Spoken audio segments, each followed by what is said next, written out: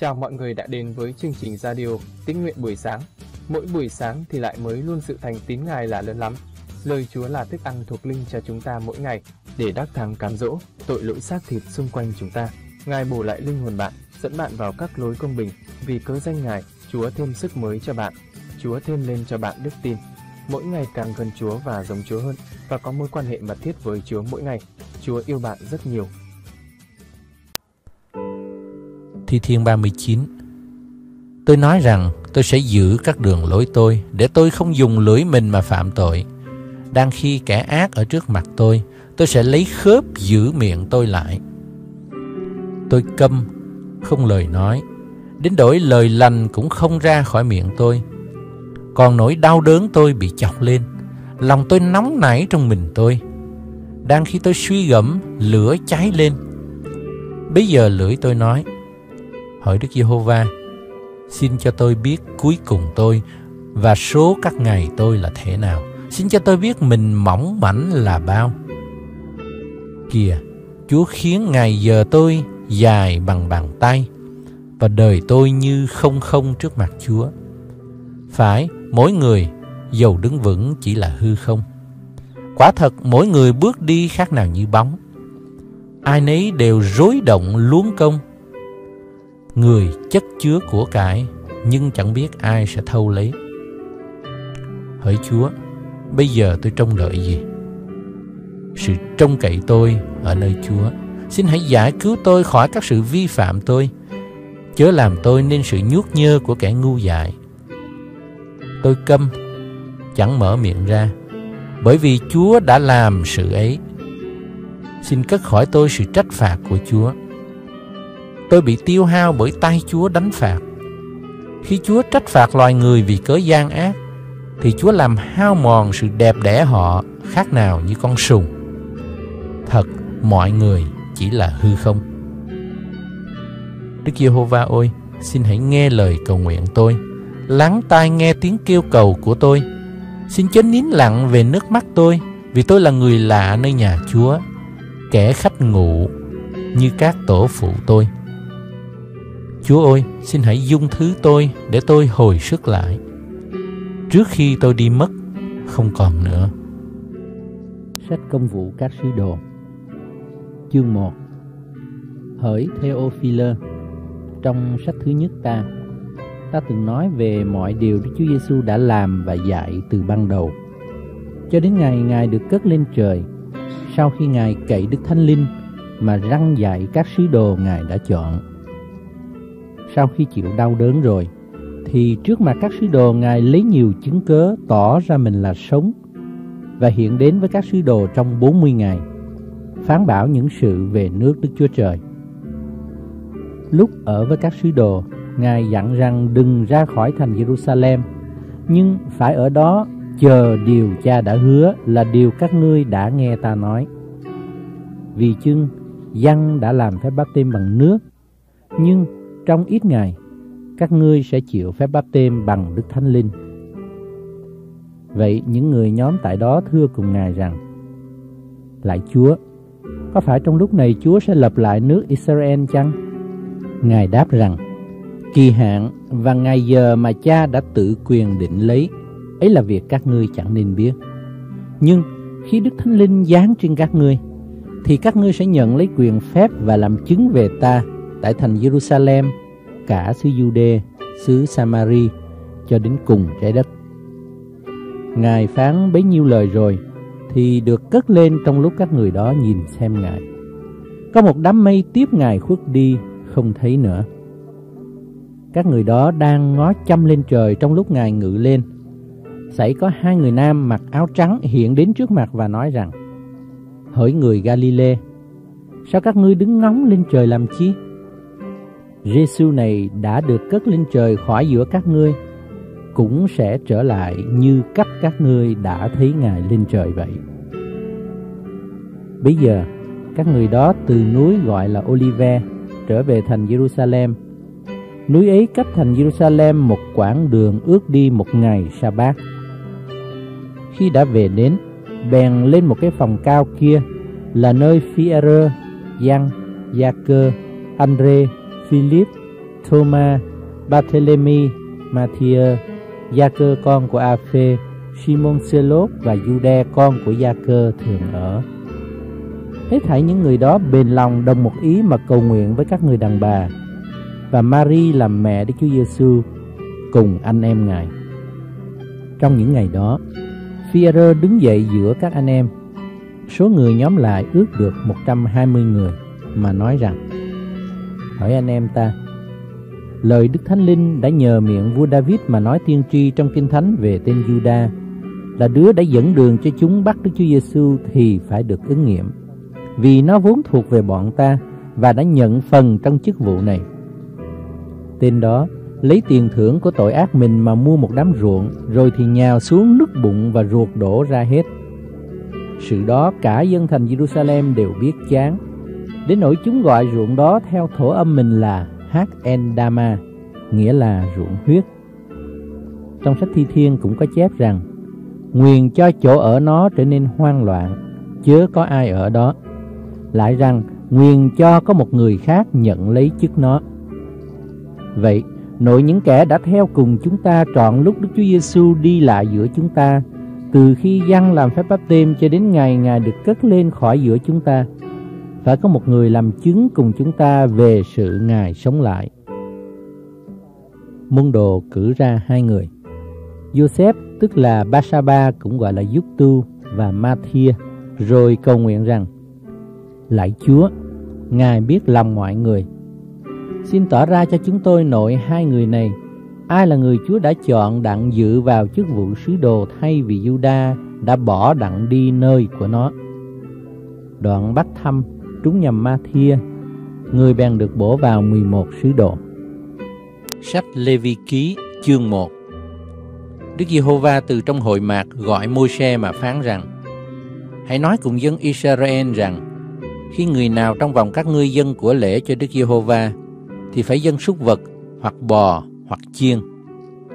Nếu lễ vật của người là của lễ thiêu bằng bò, thì phải dùng con đực không tỳ vít dâng lên tại cửa hội mạc trước mặt Đức Giê-hô-va để được Ngài đẹp lòng nhậm lấy.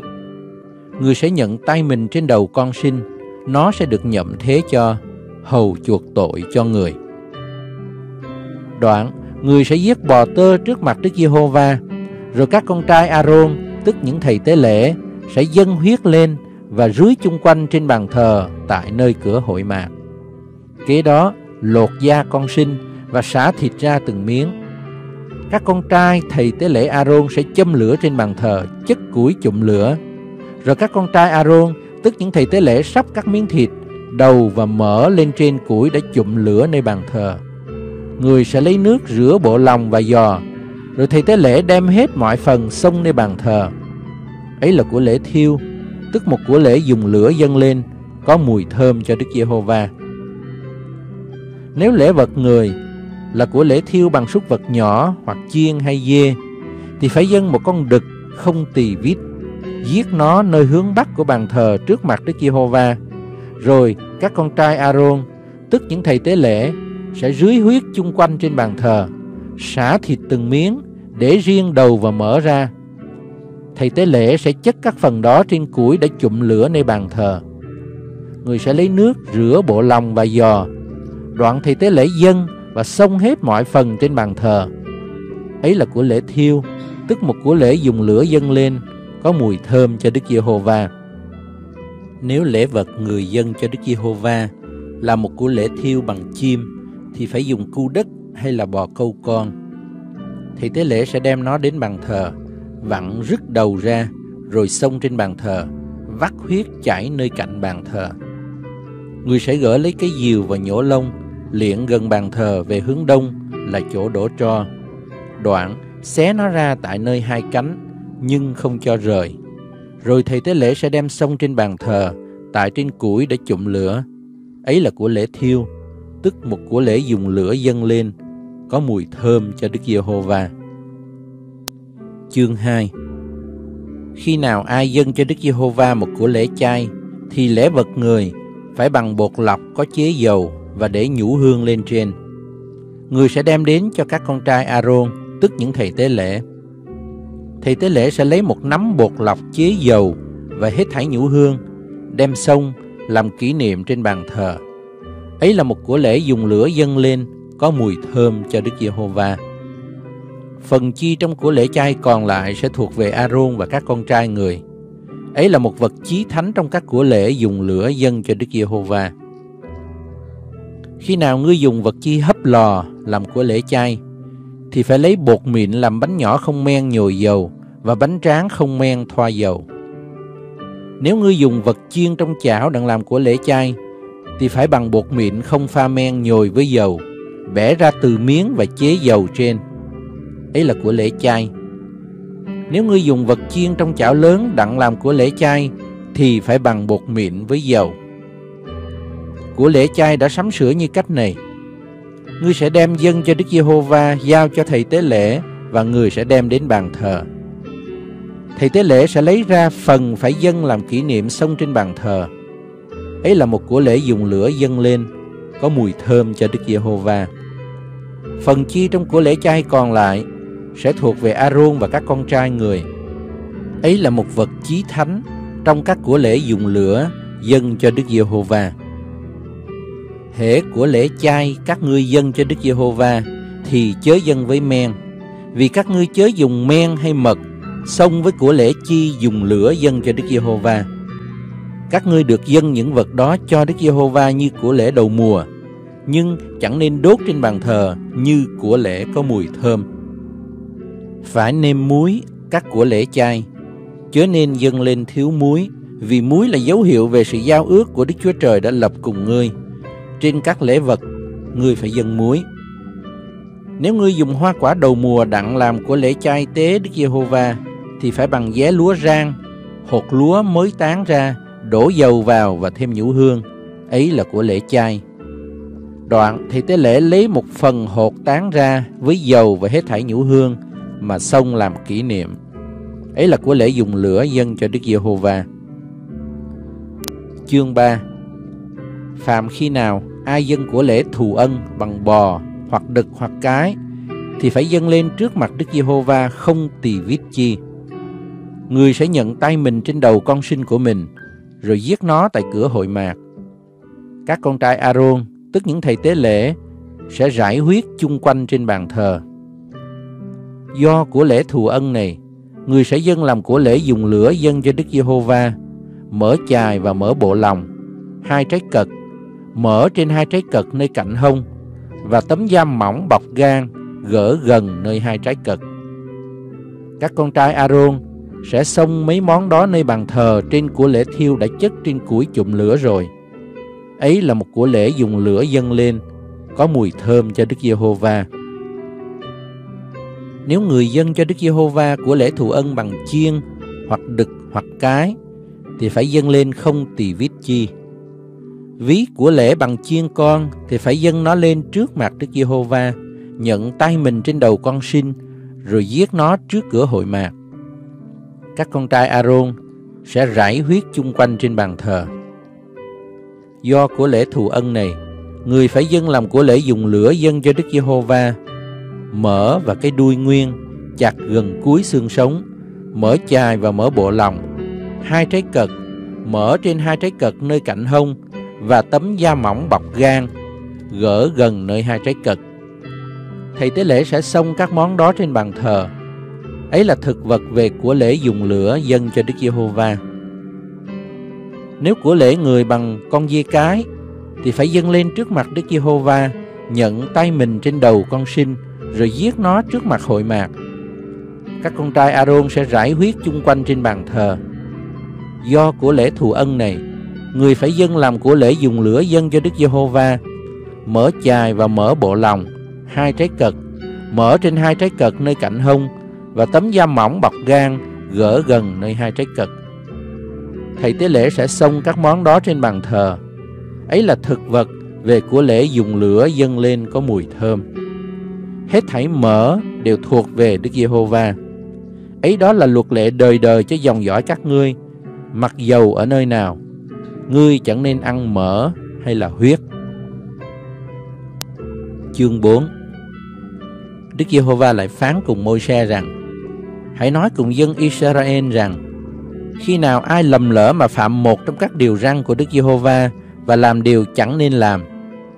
Nếu là thầy tế lễ chịu sức dầu rồi mà phạm tội và vì cớ đó gây cho dân sự phải mắc tội thì vì tội mình đã phạm, người phải dâng cho Đức Giê-hô-va một con bò tơ không tỳ vít chi đặng làm của lễ chuộc tội. Người sẽ dẫn bò tơ đó đến cửa hội mạc trước mặt Đức Giê-hô-va, nhận tay mình trên đầu nó rồi giết nó trước mặt Đức Giê-hô-va. Thầy tế lễ chịu sức dầu rồi sẽ lấy huyết bò tơ đem vào trong hội mạc, nhúng ngón tay mình trong huyết, rải bảy lần trước mặt Đức Giê-hô-va, đối ngang bức màn nơi đền thánh. Đoạn, thầy tế lễ sẽ bôi huyết trên các sừng của bàn thờ sông Hương ở trong hội mạc trước mặt Đức Giê-hô-va và đổ hết thải huyết bò tơ nơi chân bàn thờ về của lễ thiêu để trước cửa hội mạc. Người phải gỡ những mỡ của con bò dùng làm của lễ chuộc tội, tức là mỡ chài và mỡ bộ lòng, hai trái cật, mỡ trên hai trái cật nơi cạnh hông, tấm da mỏng bọc gan gỡ gần nơi hai trái cật như gỡ các phần này của bò tơ dùng làm của lễ thù ân.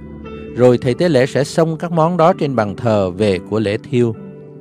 Còn da, hết thảy thịt, đầu, giò, bộ lòng và phẫn, tức con bò tơ nguyên, người phải đem ra khỏi trại quân đến một nơi tinh sạch là chỗ họ đổ cho, rồi chất trên củi nơi lửa và thiêu nó đi, tức là thiêu nó tại chỗ đổ cho vậy.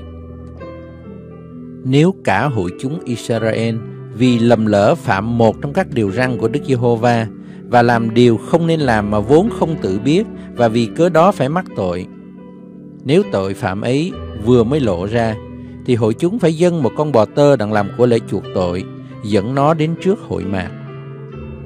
Các hội trưởng phải nhận tay mình trên đầu bò tơ, rồi giết nó trước mặt Đức Giê-hô-va.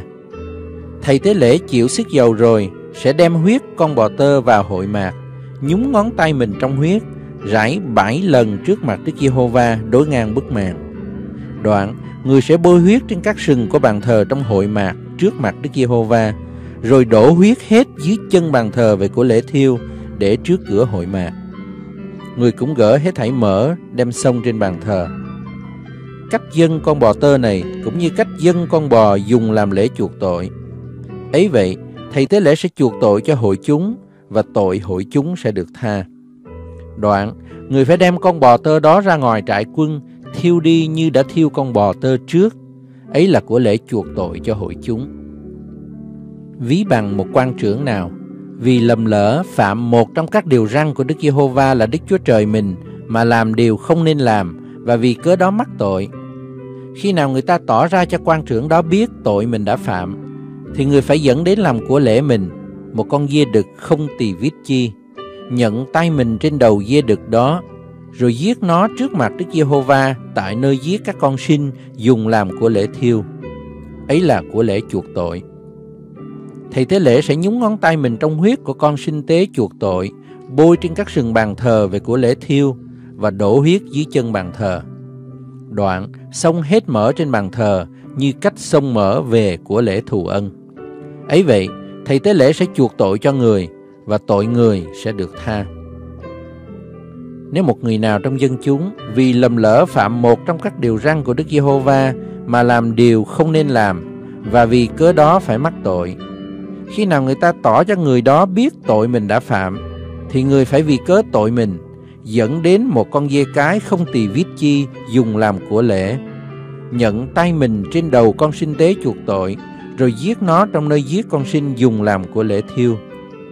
Thầy tế lễ sẽ nhúng ngón tay mình trong huyết, bôi trên các sừng bàn thờ về của lễ thiêu và đổ hết huyết dưới chân bàn thờ, rồi gỡ hết mỡ như cách gỡ mỡ về của lễ thù ân, đem xông trên bàn thờ, làm của lễ có mùi thơm dâng cho Đức Giê-hô-va. Ấy vậy, thầy tế lễ sẽ chuộc tội cho người đó, thì tội người sẽ được tha. Nếu của lễ chuộc tội người bằng chiên con, thì phải dâng một con cái chẳng tỳ vít chi, nhận tay mình trên đầu con sinh tế chuộc tội, rồi giết nó tại nơi giết con sinh dùng làm của lễ thiêu. Đoạn, thầy tế lễ sẽ nhúng ngón tay mình trong huyết, bôi trên các sừng bàn thờ về của lễ thiêu và đổ hết huyết dưới chân bàn thờ. Gỡ hết mỡ như cách gỡ mỡ của chiên con dùng làm của lễ thù ân, đem xông trên bàn thờ, như các của lễ dùng lửa dân cho Đức Giê-hô-va. Ấy vậy, thầy tế lễ sẽ chuộc tội cho người đó, thì tội người sẽ được tha. Chương 5 Khi người nào làm chứng bị bắt thề rồi và phạm tội vì không tỏ ra điều mình đã thấy hay là đã biết, thì người đó sẽ mang tội mình. Khi ai sẽ đụng đến một vật ô uế hoặc thây của con thú nhà không tinh sạch, hoặc thây của con thú rừng không tinh sạch, hoặc thây của loài côn trùng nào không tinh sạch mà không tự biết, thì sẽ bị ô uế và mắc tội. Khi ai, hoặc tự biết hay không biết, sẽ đụng đến sự ô uế nào của loài người, không cứ bị ô uế cách nào, thì cũng sẽ mắc tội. Khi ai nói sơ ý thề thốt làm ác hay là làm thiện, mặc dầu cách nào, trước không ngờ đến, rồi sau lại tự biết, thì ai đó sẽ mắc tội trong điều này hay là điều kia. Vậy, khi nào ai mắc tội về một trong các điều này thì phải xưng mình phạm tội chi. Rồi, vì tội mình đã phạm, dẫn đến Đức Giê-hô-va một con cái trong bầy súc vật nhỏ hoặc chiên cái hay là dê cái đặng làm của lễ chuộc tội thì thầy tế lễ sẽ làm lễ chuộc tội cho người. Nếu không phương thế lo cho có một chiên cái hay là một dê cái được thì phải vì tội mình đã phạm đem đến cho Đức Giê-hô-va một cặp cu hay là cặp bò câu con. Một con dùng làm của lễ chuộc tội, một con dùng làm của lễ thiêu. Người sẽ đem cặp đó đến cho thầy tế lễ. Thầy tế lễ sẽ dâng trước, con dùng làm của lễ chuộc tội, vặn rứt đầu gần nơi gái cổ không gãy lìa ra. Đoạn rải huyết của con sinh tế chuộc tội trên một phía của bàn thờ. Huyết còn dư lại thì vắt dưới chân bàn thờ ấy là một của lễ chuộc tội. Còn chim kia, người phải tùy theo lệ đã định, dùng làm một của lễ thiêu. Ấy vậy, thì tế lễ sẽ vì người đó làm lễ chuộc tội người đã phạm, thì tội người sẽ được tha. Nếu không phương thế lo cho có một cặp cu hay là cặp bò câu con được, thì người vì tội mình đã phạm, phải đem một phần mười epha bột lọc làm của lễ chuộc tội. Không nên đổ dầu trên và cũng không nên thêm nhũ hương, vì là một của lễ chuộc tội. Người sẽ đem bột đó đến thầy tế lễ. Thầy tế lễ sẽ bốc một nắm làm kỷ niệm và xông trên bàn thờ như cách xông của lễ dùng lửa dâng cho Đức Giê-hô-va. Ấy là một của lễ chuộc tội. Ấy vậy, thầy tế lễ sẽ vì người đó làm lễ chuộc tội người đã phạm về một trong mấy điều này, thì tội người sẽ được tha. bộ còn dư lại sẽ thuộc về thầy tế lễ như trong cuộc của lễ chay vậy.